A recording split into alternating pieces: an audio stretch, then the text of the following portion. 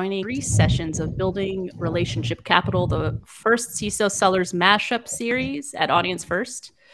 Today, we're going to be talking about how do I retain a relationship with a CISO? Super critical uh, conversation. Uh, how does this conversation work? How does this webinar work? We're all unmuting our mics today on this call so that we can get honest feedback and value from each other two cybersecurity sales professionals are on the call and two CISOs are on the call. We're going to have an opportunity to ask one question each so that we can learn how to retain business and turn each other into loyal advocates. You'll also get practical advice from each of these professionals on the call today. Uh, how will that happen? At the end of this session, you'll be able to ask uh, questions for each of them, uh, should we have time, and we're going to make time for that. So, if you do have any questions, please ask those in the comments here in LinkedIn. We're going to open the floor at the end. If you can't make it through the whole, whole session, no worries. This discussion is recorded, and I will be providing that after the fact here on LinkedIn on the Audience First company page. If you would like for me to send this to you via email, please visit audiencefirst.fm where you see live events. You could register to get all three sessions recorded on demand. I do want to say thank you to our brave panel who has returned and has set time aside yet again to tackle another burning issue in our industry, in the cybersecurity industry. Before we dive in, why don't you quickly introduce yourselves once more for those who haven't joined us last week? Yep. Uh, yep. My name is Carlos Guerrero, and I'm with 360 Advanced out of uh, Tampa, Florida. Excited to be here, and uh, been in cybersecurity and compliance only for you know two or three years. Before that, I was in technology sales at an MSP. Um, always in a uh, relationship-focused uh, sales position, and I'm looking forward to the conversation today. My name is Erika Eakins. I'm a enterprise rep at Aqua Security Cloud Native Application Protection Platform. That's what we do. Look us up.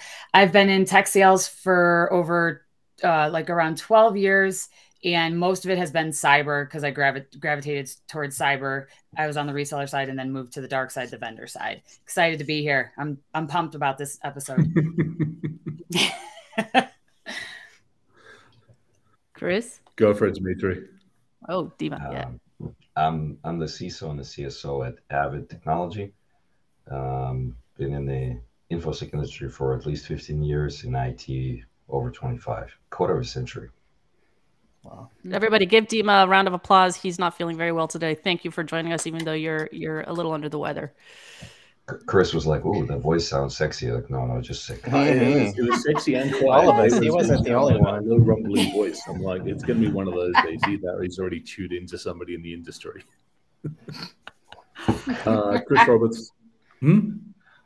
Uh, Chris Roberts, CISO over at Boom Supersonic, uh, Chief Geek over at Hillbilly Hit Squad. Um, yeah, that's about it. Too much on the internet about me. Awesome. And I'm Dani Woolf, your moderator, making sure everything is technically functioning today. And I'm also the CEO at Audience First. Why have we continued this session? Well, it's one thing to talk about how to hook that first meeting with a with a CISO, but it's another to maintain and retain that relationship and that business. I've seen this big problem firsthand. We work hard as vendors to acquire net new customers at all costs, literally at all costs. We spend exorbitant amounts of money to get them, but when they sign on, they're ghosted. Or so I've heard in the Audience First podcast. And so today we're going to have a brutally honest conversation about how to keep and maintain the relationship. Both parties are going to talk to one another and see how to do good and not screw it up. So I'm going to open up the discussion with one question for each party. For the sellers in the house, what do you find to be the most challenging when retaining relationships and business with security buyers? Carlos, why don't you kick it off? Yeah, thanks, Dani. I appreciate that. I've been thinking about that question since you sent it over. And what came to mind was I wanted to just kind of make a statement that none of this is a uh, individual sport it's a team sport, and so probably one of the most difficult things as a salesperson it can be is that you know at the end of the day a lot of this gets handed over to some sort of team. Like we work for companies that provide services and you know my advice to sellers out there would be to align yourself with an organization that is doing right by folks. But even then there can be situations like uh, private equity or company goes public and there's a lot of times when you know uh, service breaks down. And so there's only you know so much that we can do. And when that goes sideways that's probably the most difficult aspect especially when you put your name and reputation on the line during the the whole process of building that relationship. That would be my you know my response and my feedback. So my biggest challenge is obviously i sell one solution or product right my biggest challenge is landing landing and then expanding in the organization. Even though i don't sell to like the data center team or you know the servers like the network guys i need to work with them because my product could touch that team. It could affect it. They all have to work together internally and a lot of the times they're very siloed. So it's hard as a seller for me to build relationships with the guys and ladies outside of the cybersecurity teams that i'm working with. And I would also add that it's really challenging to get to like the CEO, the CFO, because my target is a CISO, but I need to know the other executives as well.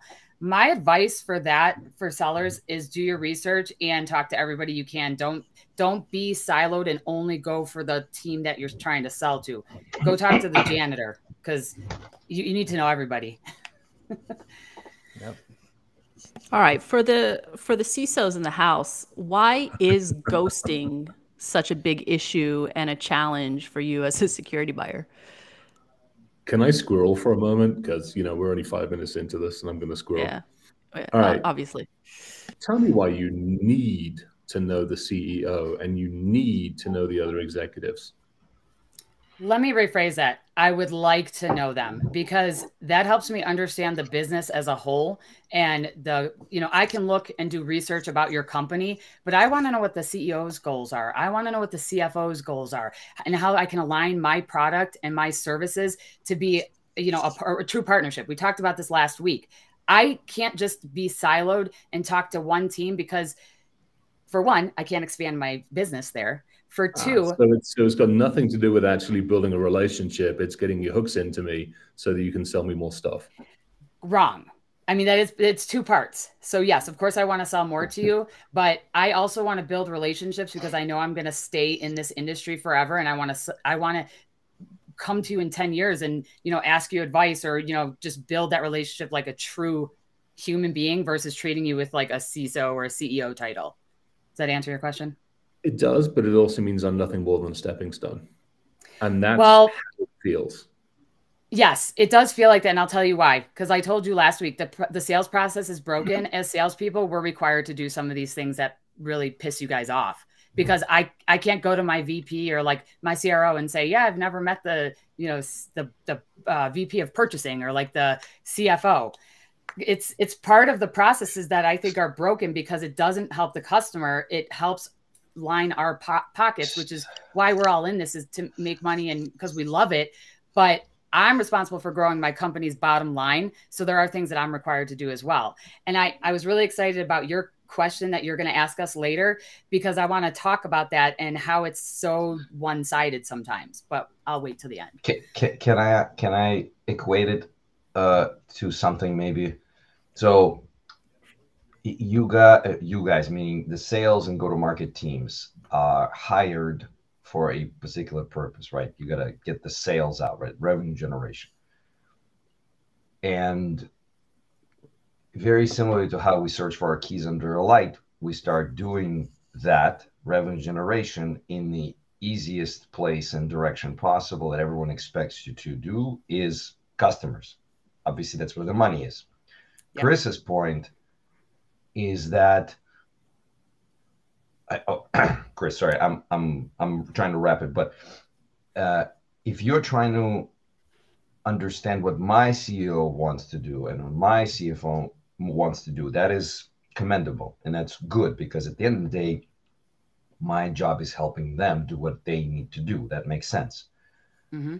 But that is still the easier thing to do than looking at your own uh, GTM strategy, looking at your own product, looking at your own sales uh, collateral, looking at your own sales education and saying, wait a second, this is too aggressive. This is too cold. This doesn't account for Chris being a regular person that has uh, a dog in an outside kitchen, right? Like it doesn't account for anything else except for go out and get us the numbers.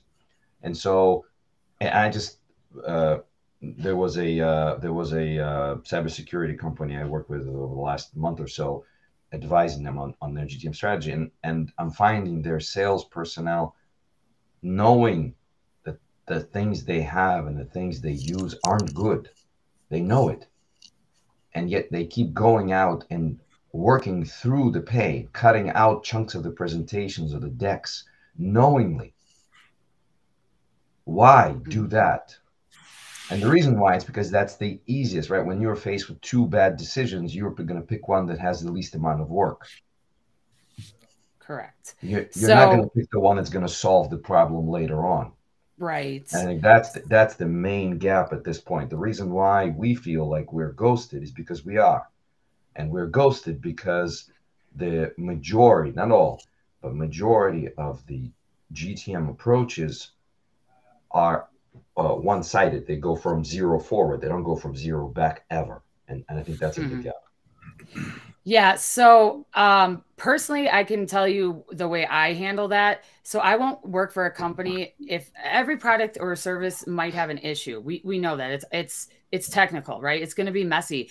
I try to find companies that I see a product market fit or whatever the terminology is that actually does work and that you know if there's challenges how they overcome it are they working towards it like you know i work for a start Arc was a startup we're still in that phase where if a customer finds something and we could fix it or you know create it for them we're able to do that i personally stay away from large companies that are you know like really established public because you can no longer be that give that personal touch. And there's nothing wrong with those companies.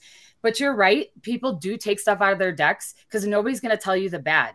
However, if you have a good salesperson, they will stop like through the process. If if we find out that the product is not a fit or it's just it's going to have buyer's remorse, I personally will tell the customer I'm not going to sell this to you because it won't work. But a lot of salespeople won't do that because they're scared to lose their jobs and to me, it, my reputation is more important than selling you something that you're going to spend hundreds of thousands of dollars on. And then 10 years later, you're going to remember that I did that. I think the challenge is you're in the minority. Yeah. I, I that's why I said I can't speak for all. And that's where we'll talk about it later, but I think you're in the minority. So ends up what ends up happening is we do this dance through the sales process. We get something in and then exactly to your point, the next conversation is, so let's meet the CEO. And I'm like, y'all do realize that the CEO is actually running the business and isn't there to kiss babies and shake hands. Yeah, but I haven't uh, even asked to meet those people. Like that's after I've already sold to you and built some sort of relationship. I'm talking about, you know, it could take years. I don't even ask to meet the CISO right away. And I get talked to about that because I can't get to him most of the or her most again, of the time right away. In the minority part yeah. of the reason. But that's why that's why she's here because she yeah, is a exactly. minority that cares, and that's why we're having this conversation. I love it. By the way, I love the well, and I see the people are. I disagree. Awesome. Well, like there's some comments about companies use MEDDPICC and other things. Those don't always work. They're good methodologies, but they're not going to work for everybody. And one of the reasons I am here is because the, like I said, the process is broken, and we don't treat you like a human. You're just a CISO, and my stepping stone to get to X, Y, Z, you know, one, two, three, no matter what. And companies have to take responsibility for that, that they they have to sell, you know, they have to provide value and not screw their customers over because retention is the number one thing that investors want to see because they want to see that constant income because you can't grow if you don't have a good customer base. Sorry, I, I kind of took over. no, I think the other part of it is as well is, uh, and this is the CISO hat side of it, is there are too many CISOs who buy product to put a tick in the box. Mm.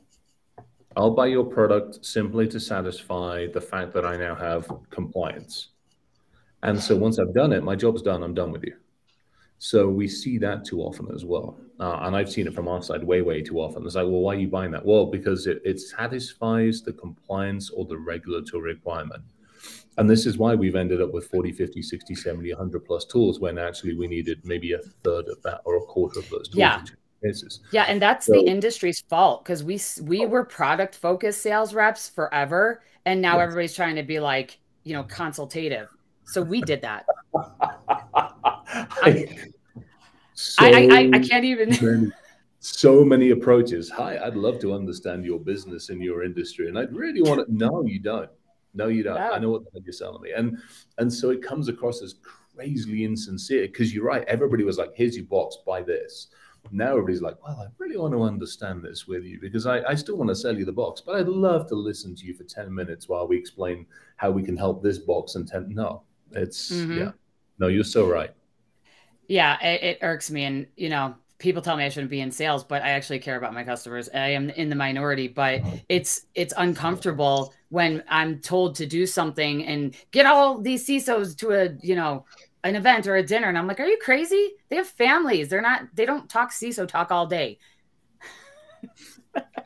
I, I, love I love how Donnie and and and G, is it Jai? I'm I'm, I'm yeah. name. Throwing fire, throw, throwing fuel on the fire. Laziness I, am po- I'm poking the bear a little bit. I know. I yeah, Chris. That's right. I mean, that's the problem. I would argue yes. there are just as many CISOs as there are sales and marketing professionals who are doing it wrong, who don't care, who are simply there to take the paycheck and just to do the job, as opposed to mm. make a difference.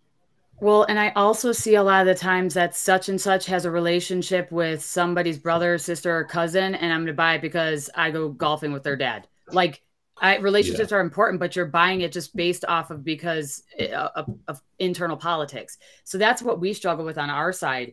Is like you're buying a product because you've had a relationship with somebody for 10 years, which is great. But like you kick out really other good products just because you know somebody knows somebody.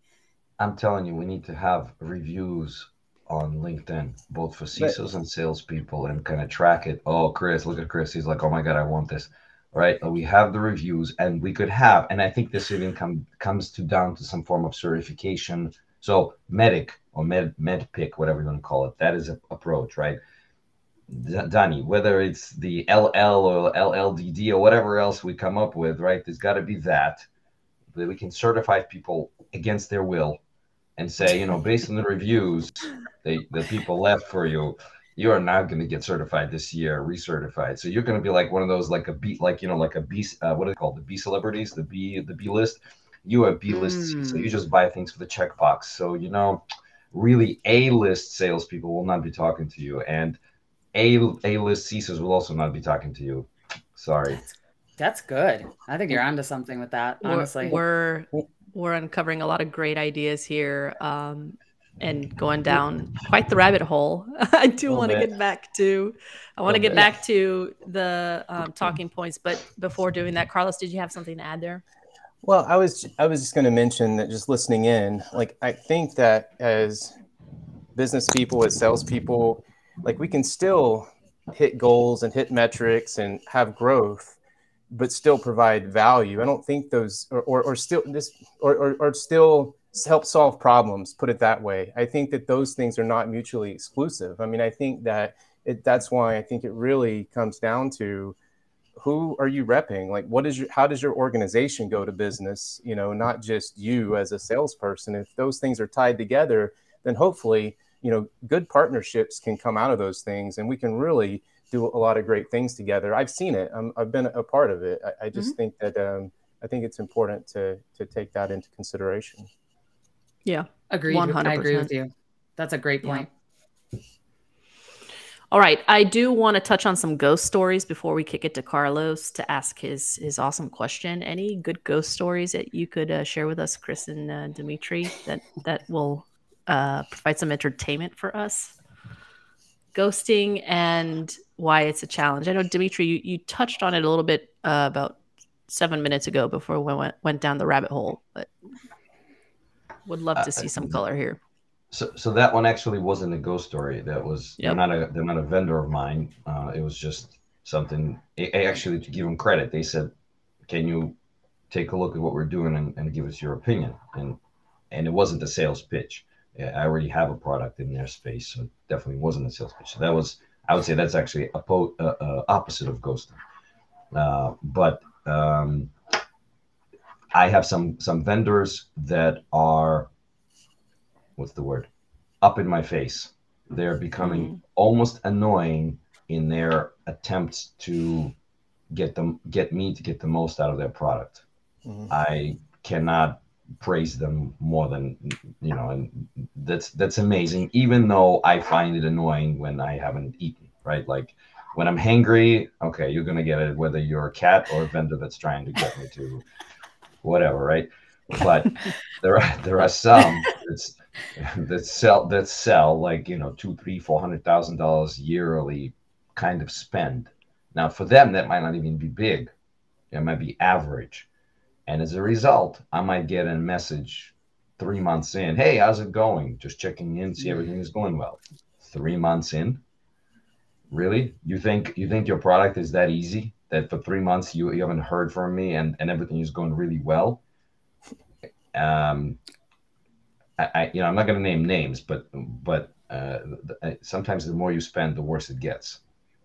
They know who they are oh yeah, that, well they do. I mean, I really want to name names, but I'm in the same boat. I'm so flipping tempted.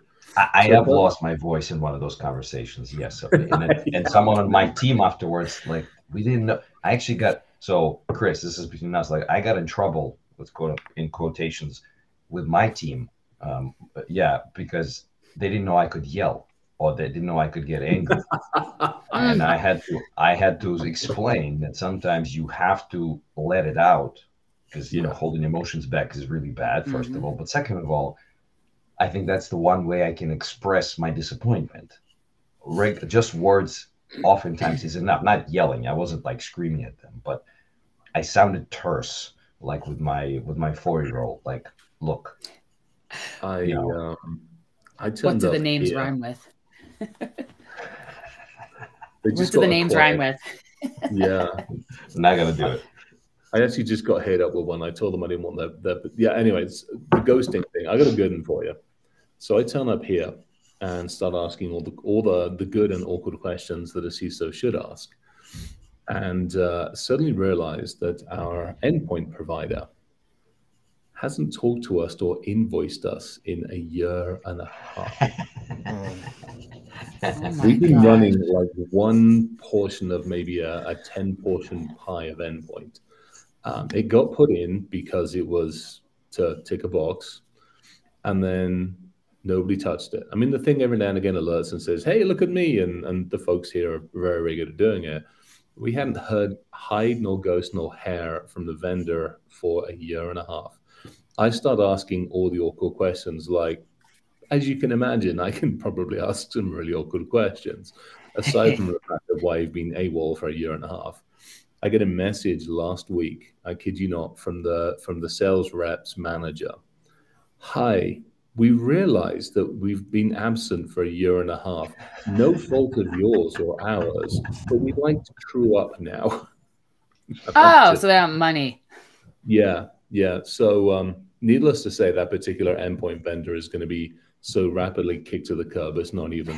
It's not even funny. I mean, they are. I'm debating in Wait, about how much. Are we not allowed to name names, or is it just our choice not to name names? Uh, it is a it is a base element, and it's a dark color. I'll let you figure. We have an. Great. Yeah, I already know. yeah, exactly. We have, yeah. yeah. we have, yeah. What does it sound like? We have an NDA. I was trying to get a, quote from a, an, an endpoint vendor to renew, and they wouldn't respond. Wouldn't respond. Wouldn't respond. Wouldn't respond. We even we finally were like, okay, well, we're not renewing. There's no yeah. response. No response. No response. So we went with with someone better. In many yeah. many ways, luckily that they didn't respond. I'm just like that. That really threw me off. Now, in their case, they went through two or three uh, acquisitions over the course of like six months and mm. made some business decisions and this and that. So I kind of get how it happened. It's just to me in today's world of technology, maybe that's just too much technology. Maybe people just get overwhelmed with it. Well, that's see, that's that's unacceptable. And I actually, Christopher Francis, he has a a good comment. And I want to actually say something about that. If you feel the salesperson is responsible for your satisfaction with the product, are you treating them like a vendor or a partner? 1st mm-hmm. part of that is when you sell, when you close a deal, you are on every call that you can possibly be on during implementation, post implementation. You get on with your customer experience teams. So yes, you are you are supposed to be there to um, help them stay satisfied and want to renew your product every year. Now, if there's challenges with it, you find somebody that can help them. That's that's not something you can do personally, but if you help them get to where they can be satisfied that's your part of your job. Post sales is one of the most important things versus net new part or net new business. And you're this is what these the CISOs are talking about is you sell something and then a year later they come you come back and ask for the renewal and it's 20% more than it was last year. Yeah, that's crap. this is a great yeah this is a great segue because I think it touches on um, what Carlos wants to ask. So I'm going to kick it. To, I'm going to kick it to Carlos. We're going to get into the questions because we're already halfway through. I want to make yeah. sure everyone has has their fair share of airtime here. So Carlos, why don't you go ahead and uh, open up with what you want to ask our CISOs here on the call? Yeah, I certainly will. And you know, kind of the question kind of reflects on my first statement is that this is a team sport, right? I mean, I, I get what you're saying, uh, Erika, about being on every call, but that's not how all teams are built. And if you're right you and truthfully if i if i'm out looking for net new for like new new new clients to bring into the fold and i have to, to stay involved with every single client then that's not the way our system works. And so i have to be i have to know that the team backing me up are meeting with people and are updating me of course but i mean really if the team can't support this then that's really where problems happen and dimitri mentioned one himself with acquisitions and those sort of things so it's really important. And so, what I had the question that I was going to put towards everyone let's say you go through the sales process and you've met the salesperson and their team, and you're about to embark on a rather large purchase for your organization. How do you make sure that the firm or the company that you know that has been represented that they are going to follow through and do what you you know what you said what they said would be done and what you agreed upon? Do you go through some early due diligence? I mean how do you how do you really know? You want to hit this one dimitri or you want me to start off?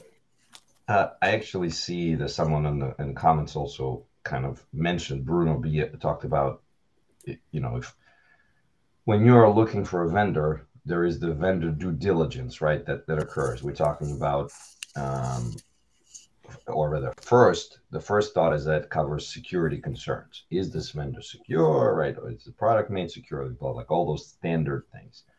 But that's only part of the vendor due diligence. Uh, I would also say that uh, we talk we always talk about getting more uh, knowledge from other teams, CFOs, CEOs. Get to learn your procurement person. Get to look, get to know your procurement person. Get to understand what's important to them my uh, I, I, we have an amazing procurement person, Melissa, and she um, she she I actually just uh, what's the day Monday on Thursday I had to go back to her maybe Friday and apologize. She she told us something. She said if you're doing a POC or a peer review with a vendor, please include us. And I'm like, he was slowing me down, you know, this crap, and we, we got to go fast. And her point was, look, when you like them, and you like everything, but when you like them, and it's time to renew that POC or POV, you didn't put any kind of uh, uh, language on the renewal, limitations of cost raises, on any things like that, right? So, okay, well, crap, we just ran into that situation, right? The vendor is now we're going from POC PV to we want to actually keep them, and we can't, or rather, for now at least. Now I have to go back to Melissa. Hey, Melissa, can you help us out, to figure this out, and negotiate this down or whatever? But that's just one of the things that she or they can help us with. One of the bigger ones is this really a good vendor for us in financial terms, in economic terms, in stability terms? If this vendor just came around and we are planning to use them for five years, how stable are they? What's their cash flow? Can they survive more than a year and a half? Do they have a necessary support team? What kind of cadence do they? What kind of CSM process do they have? And you want to ask those questions before you buy because oh, I mean, someone said it's our own fault. It's it is laziness per se, but it's also lack of education. CISOs, we, we like the shiny toys. We don't really want to change oil, right? And oil needs to be changed every year or whatever, every, you know, the car depends. On, but this this is part of the thing. We're like, oh, it's a shiny toy. Oh crap, I gotta go do all this maintenance, all this renewal, that other crap. And we don't think about it in the, early on, but we should. So part of due diligence, probably bigger part of due diligence should be this. Is this a stable vendor? Is this vendor too big for us? Will they ghost us because we're just a small hiccup and, and not even a road bump for them? So maybe instead of going for the massive, awesome vendor, we go for a smaller one, but we know that that will be the one where I will know the person I'm working with. I will know that person for the next five years because they're they're um, what's their rotation? Um, when people go come and go in the companies very turnover. very very turnover. turnover. Thank you. Turnover is very low, so I will be sure to talk to this person five years from now when I'm going to be renewing, whatever may be the case. So due diligence is super important, and it's on us to do. And Carlos, you know, these are these are important things but I, I, I mean, it would be helpful if you, if it also came during the sales process proactively. Hey, we know that CSM totally. is important. We want to mm. be there for you. We're interested in your project. What is your progress criteria? Right. Can we meet in a year and reassess, make sure, or in six months, or even three months, six months, a year, to make sure we're meeting your your uh, progress targets? I think that would be important so real quick, Chris, before before you, you move on. So I think that's important. I think when you're having business level discussions about alignment, then you end up choosing not a vendor but a partner because so many times, again, Chris, to your point, if people are checking off a box just to get an endpoint protection solution, who gives a shit if they're going to be a good partner or not? I got my tool, I can move on. But I think if you really work to align the business goals with the company you're going to be working with and you go through that trouble to get to that point before purchase, you're much more likely to have a partner rather than a vendor, I think. So, and it goes on, we get to help make that decision too, right? If it's not a good fit, we should be able to say, to Erika's point, it's not a good fit. Uh, I'm going to answer you probably more directly and bluntly. Um, first thing, I'm so first and foremost, you don't get to the negotiation step without due diligence happening because it's a waste of everybody's time. Sure. So you don't get to the first meeting, possibly you don't get to the second meeting without due diligence due diligence already occurred because again, it's a waste of everybody's time. For me, it's simple. I'm going straight to your website. I want to look at your company. I want to look at what you are morally and ethically. I'm also going to go look at your leadership. If it's a whole bunch of old white guys, we ain't doing business. I'll tell you that right now. Yeah. We will not do business. That's first and foremost. Secondly, I'm going to go take a look at the organization itself and see where you put money, where you're taking your money from. If you're taking money from a VC or an angel, either I've crossed paths with or I have no desire to deal with, we're not doing business. Mm. Then I'm going to go and take a look at you people. I'm going to go take a look on the social media sites, the Glassdoor sites, and everybody else. Let's see if the people like you and if they like working for you. Let's see who they are. Then after that, I'm going to go talk to the Tinkerers, which is a group that a number of us founded, and there's several hundred of us in there. And we're going to go talk to peers and go, what do we think? After that, you get the next meeting or you don't. And if you don't, I'll tell you why you don't. And that really is what it comes down to. Now, to Dmitriy's point, after we've gone through those, then there's the conversations of how does the organization align financially, morally, ethically, all that stuff. But most of that stuff comes after that baseline. That's awesome. I'd say I'd say like a lot of things you probably do more than most, right? I mean, that's an yep. extra extra level of due diligence. And I would rather you tell me I'm not going to do business with you because XYZ, whatever the reason is, and then let's all move on. I think in I think on what's really interesting on the topic of ghosting is that it happens in the opposite direction, right? I've had you know conversations with folks that man we had a great meeting and then there's like nowhere right? There's no mm-hmm. there's no email going hey you know what? We're just mm-hmm. not a good fit right now. And then i say thank you very much and let's move on. I think this is all about opening up these channels of communication and i salute you for doing all that due diligence. I think also people don't like conflict even in the they don't. world you know, uh, picking they up don't. the phone to you and saying no, they don't like it. I personally don't care at that point in time. No, now, maybe some point down the future, go find somebody else other than your standard board of directors. Well, um, and there's sometimes customers where you get through proof of value and you have the technical win and then you're going to go into negotiations and all the other steps and they ghost you and you're like i don't even know what happened. That doesn't happen a lot but it, it happens more times than not. I mean it happens like a lot in certain you know uh, products but that's really frustrating where you spend all this time. At least like mm-hmm. tell me that hey I, I like the win. You know you won it technically but this is why. And i think you're right. They don't like conflict. People are just they don't want to have people that have um, like a negative thought about them. Yeah. It, it, it's that plus a little bit more we are afraid you're going to try and convince us and now that's a conflict it's not simply saying okay i understand it's yeah, that's a good point but look that's I, true. I have we have brighter colors are you sure yeah because they yeah. that's what we do every time. Well, yep. let me show you this, and then let's get management involved. And you're right. I, I keep saying, in their majority, techies, CISOs are not good at personal conflicts. That's why we are in tech because we didn't want to have personal conflicts. we don't want to deal with humans. yeah, we don't want to deal with humans, and you know, I got a black cat. Like that's what we want to deal with. We don't want to deal with humans, and and and and now I have to. Not only that, but I'm in a position where I'm going to explain myself. And I know Chris will just simply tell him to f off. I, I, I can't. I, I have something. That's why I just. Oh no, no, I don't want to do this. Well, yeah. in those debrief calls, that's when I invite management so they hear it directly from the customer. And I, I don't always get them on the call, so I'm not perfect, but it's not me telling my management like they t- said this we we have to you know invite them to those calls because they're going to try to retain you or forward the process but tell my manager tell tell my vp i would love that instead of just saying oh you know goodbye not calling ever again but i get that thank you all right, we're, we're going to kick it to Erika for the sake of the time here. Um, we touched on this a little bit in our last conversation, and we touched on it a little bit here. But Erika, why don't you uh, propose your question to the panel? So we've established a relationship, right? You've bought like my product or service. That's the that's where we're at in the process. And at the end of the day, you guys know I want to build a relationship with you. We've already talked about that a little bit, and I know you're going to ask me why, Chris, in a second. But hold on. So at the end of the day, I want to build a relationship, but and I've you've brought my product and service. Now what? What's what is next? What is your best advice to achieve the, that exact thing is for me to build a relationship with you or a partnership and then i want to add to that what what would it look like how, how do i not fuck it up don't be a tool i like that comment someone said that already didn't they so no, it's kind of like three questions in one. Like, give me some advice. But there's an easy build answer. it for me. But there's an easy answer: honesty and integrity.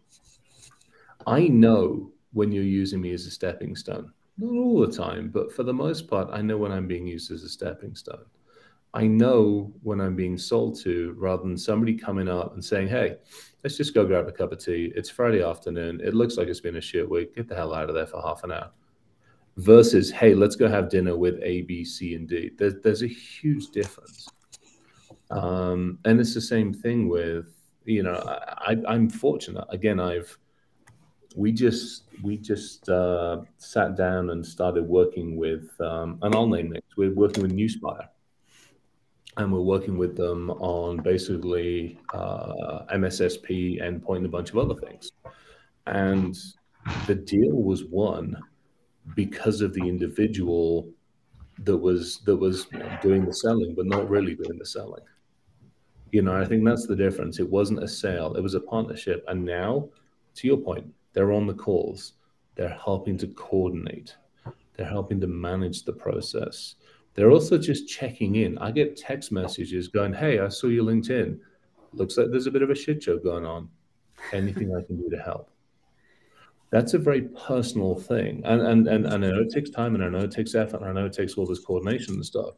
But that then turns it from a, I know they're selling to I know there's an actual level of care there. And that's a mm-hmm. big difference to me, you know, and I, and I think it's that honesty and integrity. Yes, we all know that you need to protect the investment. In other words, if I suddenly say, screw it, I'm going to go off and raise koalas in Tasmania, you need to ensure longevity inside and, and past my longevity there's also, to your point, there's also the how can how can you potentially leverage more business? Well, there's ways of doing it. And some of that's just purely transparent. Some of that literally is like, hey, if you get run over by a red bus, who the fuck am I going to talk to? Oh, I know. You need to talk. Yeah, yeah let's, let's just set up a meeting so at least you know them. That's way more transparent than than doing it in a more subdued, uh, basically, to you know, non-transparent way. So that's how I look at it. Mm-hmm. Okay. I would also add care, and so if you care, just show it. Hey, how are you guys doing? I know we talked about you achieving this thing. Caesar's on a roll. Oh, right. Yeah. Sorry. Dmitriy. yeah, be a fucking human. Right. Be a human. I'm gonna cut this up. Be a human. Now that's so. Let me let me let me uh, expand on this a little bit. If you don't care, don't fake it. There is a way to follow the I need to care without faking it, to Chris's point. It might, and I honestly, if you come out and say, look, I just don't have it in me to care about your EDR project. Like I, I care about dogs and manatees. I, I, don't care about EDR, but that's my job. I'm selling it, right? So can we at least agree on what that looks like for me to care? Like what is it that I need to follow up on and, and make sure that it occurs? I have there's plenty of salespeople that remember I talked about in previous meeting that when they check out, I said they check out half an hour, like or whatever, half an hour, five minutes into a conversation, you see the, the in their eyes they checked out but they don't skip a single check-in. They know what to ask when. So look, I just don't I, I don't care. I do this for a job, but I'm really interested in making you successful because that will help me. Okay, now we're totally honest. I know you don't love yeah. my dog. I know you don't care for black cats. That's fine. You don't like the food I eat. I don't care. You know, that's fine. But we're on the same page that this project needs to get to this point, and both you and I are interested in getting it there. So let's just agree on the rules of engagement. We don't have to show each other, you know, pink lilies and and and we don't have to go grab coffees together. That's fine. But if you check in on a cadence that we agreed on in the beginning and and you do care for that to complete because you have your ulterior motives, that's fine. I think that's enough. So mm-hmm. either care and show it or don't care but replace it with something that both sides can agree on and just don't be fake yeah. Uh, yeah, that's huge. Awesome. Thank you.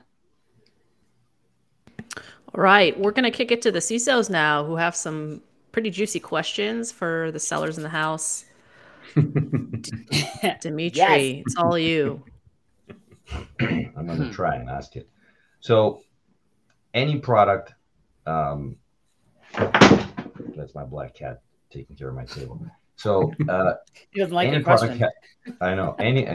like any product has hundred percent uh, of features and functionality within the context of uh, the licensing that we purchased, whatever it may be. Now, getting hundred percent is impossible. We know that. That's a uh, you know—you've got to have a very specifically configured demo system, right, to get every little feature turned on and working correctly. So we know that that that's not really possible but there is a vast difference between the 5 to 25% used with just a simple drop install and walk away an average using kind of we sort of using some of the features fairly okay blah blah blah. That's about you know getting up to 50% and those really really annoying customers that really want to get the most out of your product getting up to like 75 80% that's like peak. Now that's that's a progression over time, over project, etc. You as salespeople, do you consider this when you talk about the future relationship conversation? And if so, what is the target that you usually aim for? And if not, why not? Erika, that's probably more position for you because you you know you sell software. I mean, I get the concept. It also it covers the services as well. So no, it does. It does. yeah, yeah. And I'll, I'll kind of, but Erika, you go first, and then I'll kind of so, share my thoughts. Okay, so um, good salespeople know that their products are going to be difficult, especially in large accounts, even small accounts. I've seen it. Um, you do account for that in the future, whether or not you tell the customer that.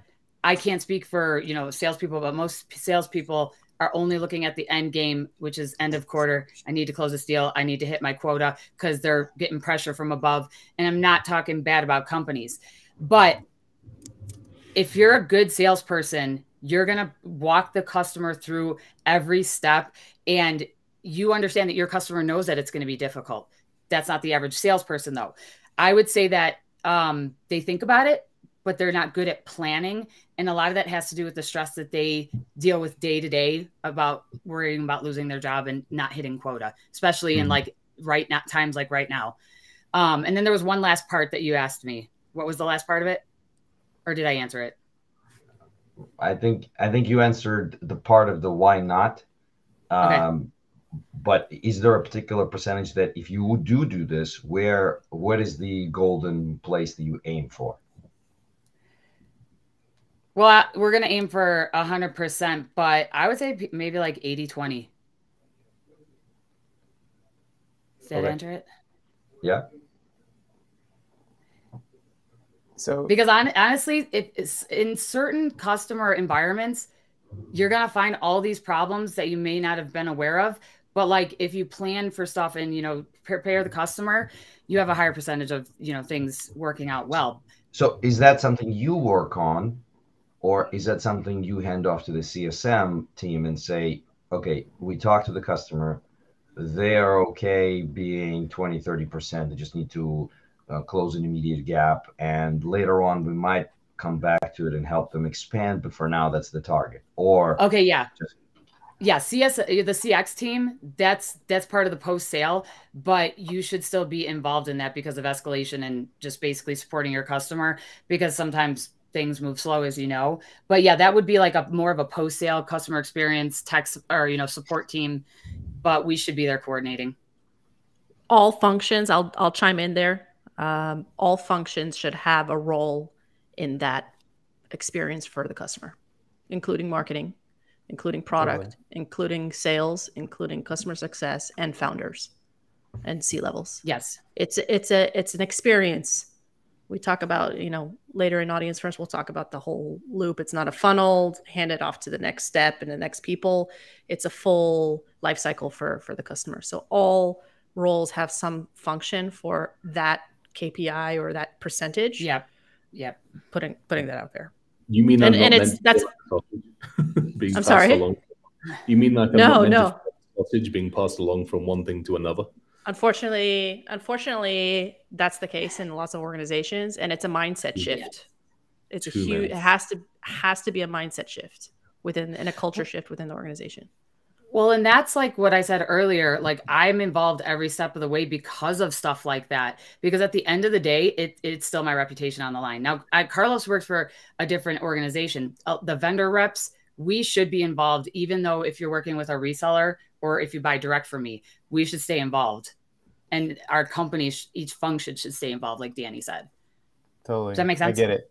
Yep, 100%. And in my world, I think it depends. Like for us, like you know, professional services. One of the things that the uh, potential client or the prospect m- may not understand fully is how much work it's going to take on their end in order for the project to be successful. And I think that's something that we have to have real honest and you know conversations with uh, on that on that topic so that they know that if they can't show up, then this thing can't be successful. That's typically where, if I were to say, oh, it's going to be fine, and then we sign a deal and then it's not fine because they don't have the resources uh, to, to, for it to be successful, that can be a problem. And that's why I'll back it up again. If the in professional services, if the folks that are actually doing the work are involved in helping to scope projects, and then they can, they can at least convey that message too, right? And so that's when we find them to, to be successful is we're able to have those conversations.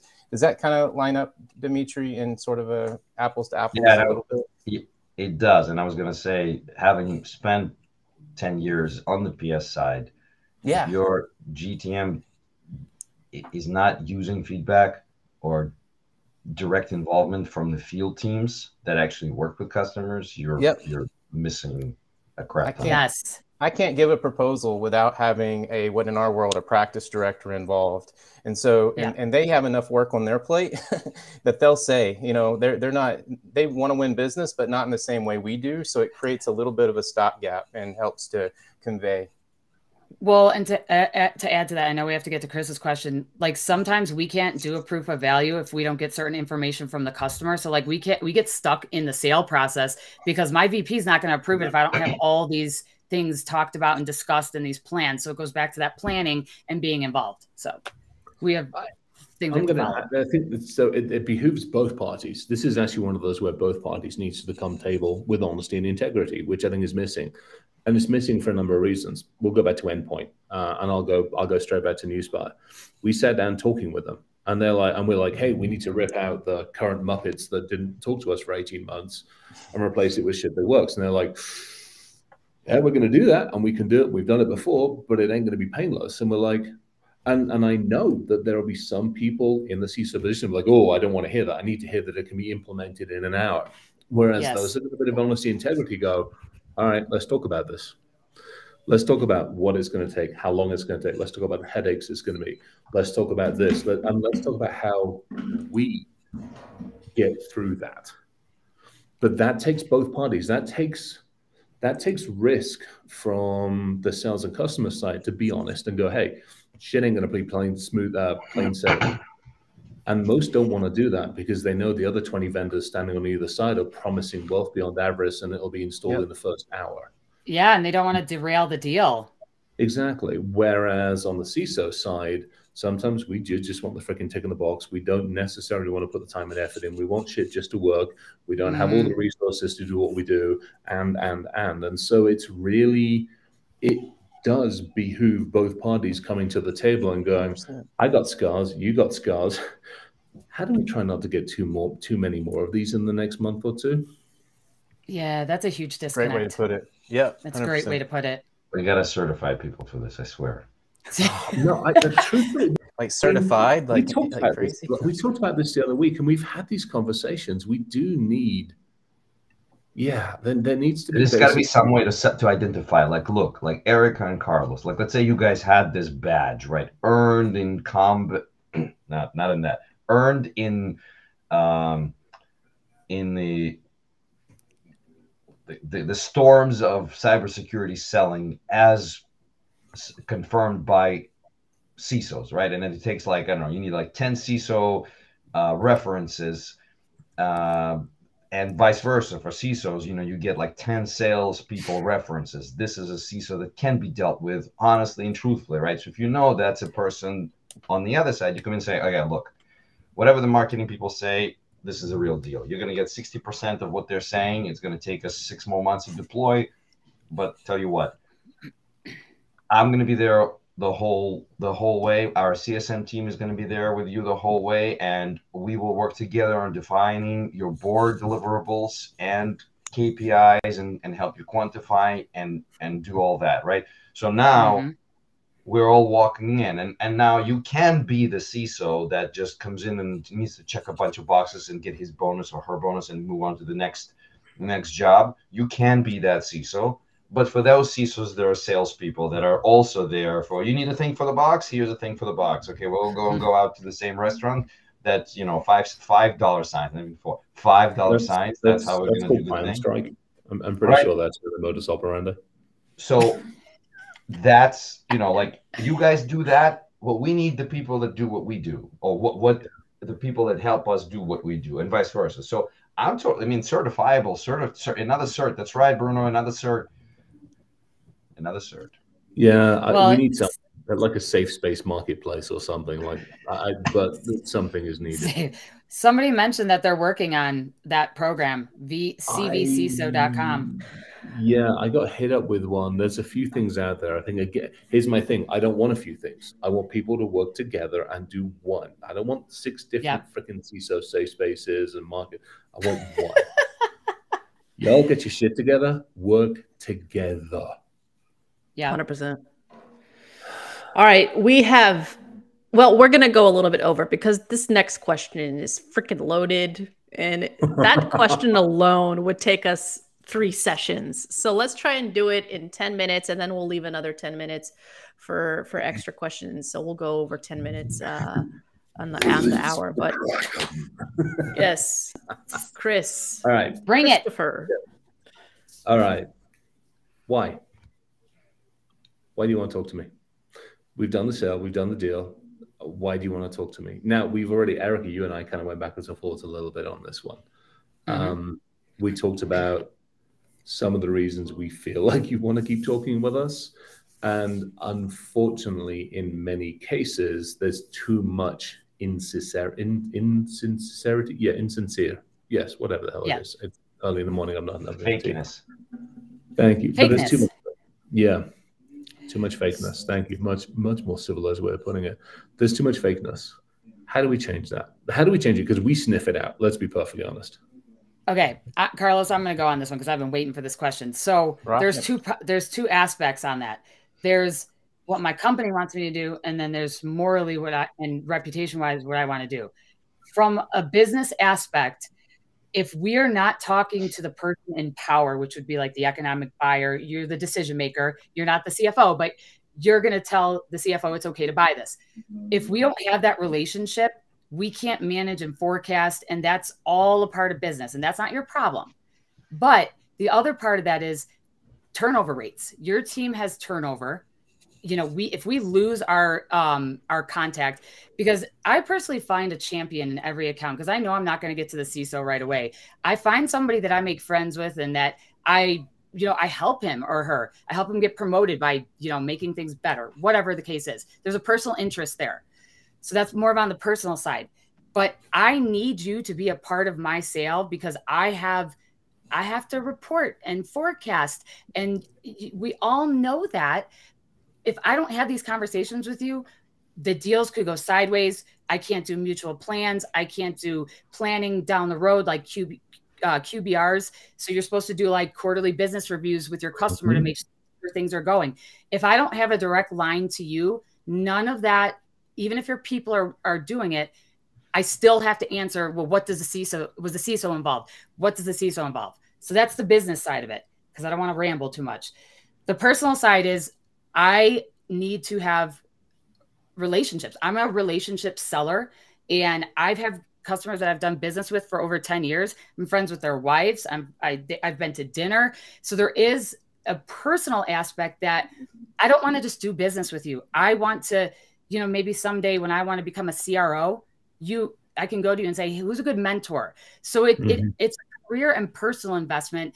And it's weird for people to some people ask me, well, how do you think his wife's going to feel about, you know, having a relationship with a, a female rep? Eh, I invite their wives and families. If we go golfing, bring your families, get everybody involved and make it about you.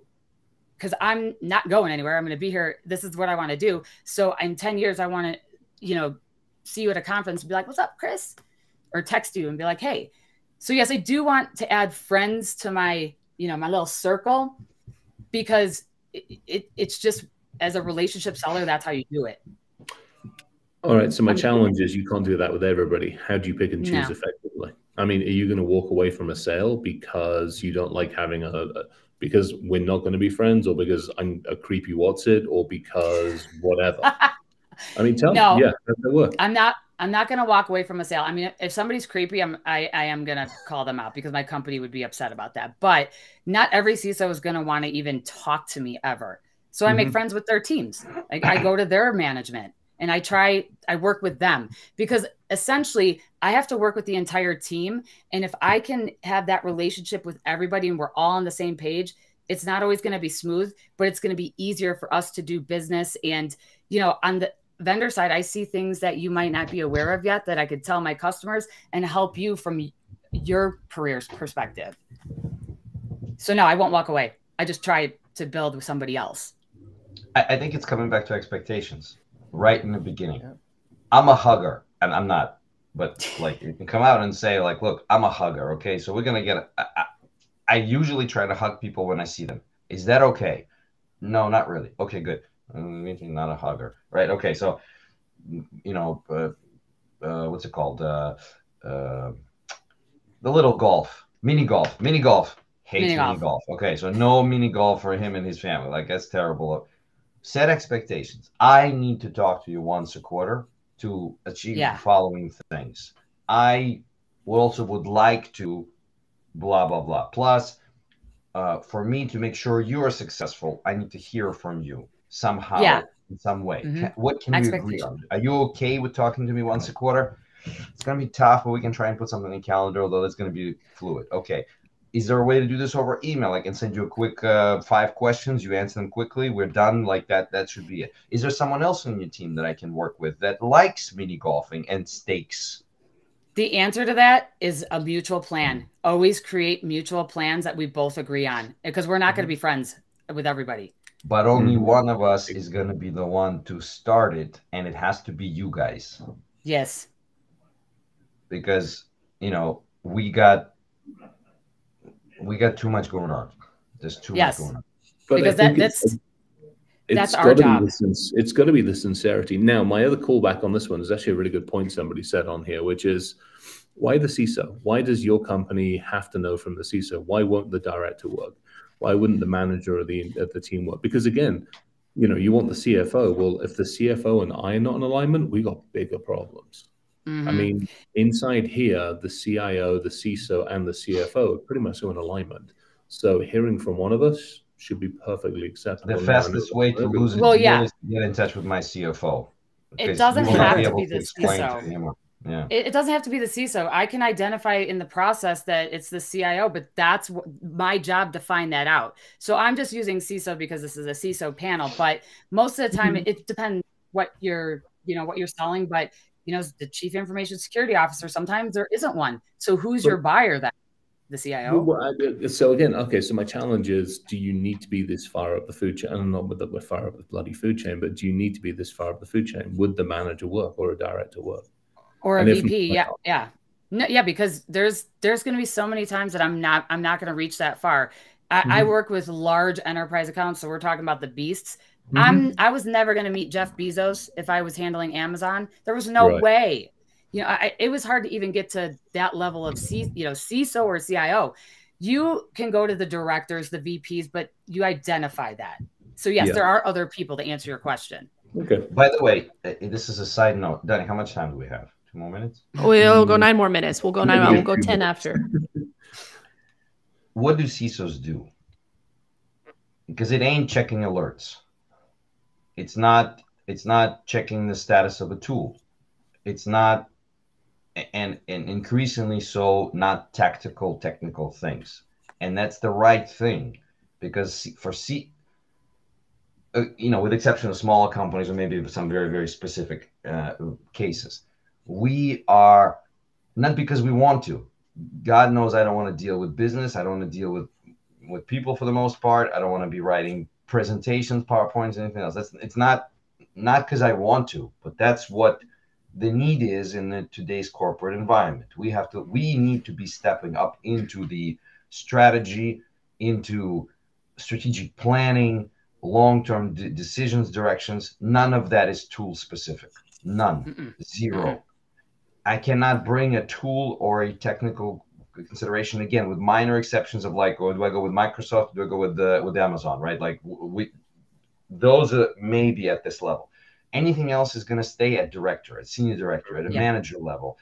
And more importantly they will be the ones that will actually do all this due diligence and will do the planning and do that and they'll bring mm-hmm. to me and say look I've, I've assessed these five and this is the one i think we should go with. Because i'm at the end of the day i'm still responsible for the budget right? Yes. For the for the decision making, but I, I, I have very little information to give you about, about things you're asking, and I have things to do that have nothing that are at a higher level. I don't mean that like yeah. you're too low. I just mean that we're talking at at the level that sale doesn't occur.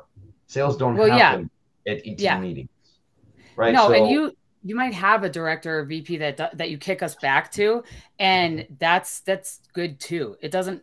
The goal is a CISO always in mind, but if your VP and your directors or managers, you you give them that responsibility, and we know that that's who we work with. We don't try to push past mm-hmm. it. Like I have a customer that I brought on recent, you know, recently, and I've never met their CISO because I deal with his his direct report. There are things we can tell you that are valuable to you. I, I, I think yeah. Our level of maturity that should be valuable to you. Our level of resource availability that should be valuable to you. Our level yes. of maturity in resource management that should be valuable to you. Our level of maturity in four or five different things. Those are all things that are valuable to you because you can account for it in your prep with the person that's actually going to run the tool. Based on what I've heard from Dmitriy from your CISO, your um, you know maturity in this area is average.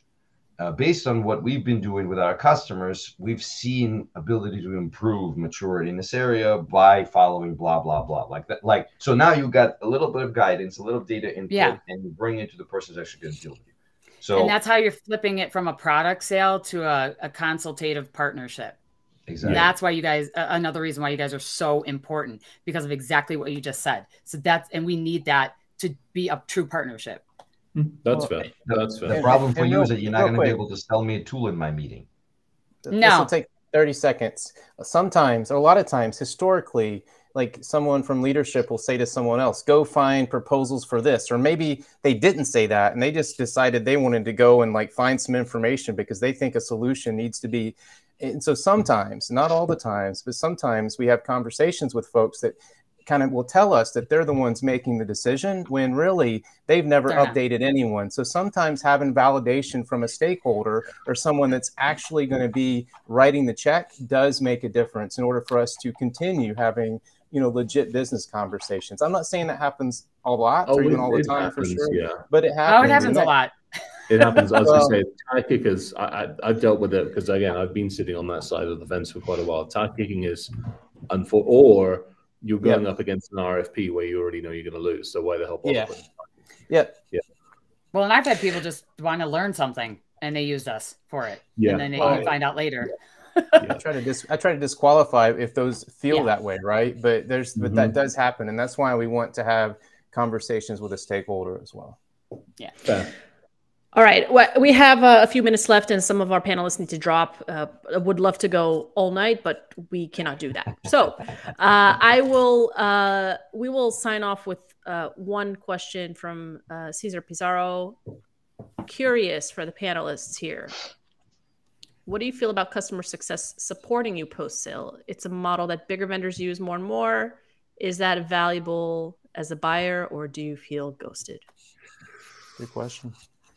That's a great question. I'm assuming the part here that's missing is stepping the sales team steps away and completely hands off to the customer success team. I think so, yeah. That's, that's I think that's what they're saying. Yeah. Yeah, I In think that's case, what he's asking.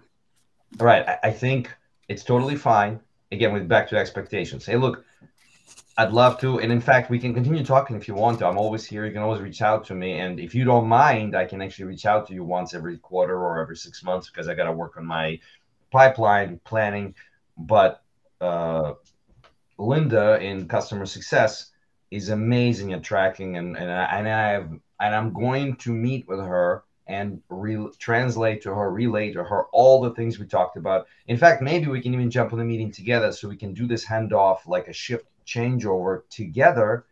And Linda from the CSM team is going to move on and will be your primary point of contact for any issue, um, something like that.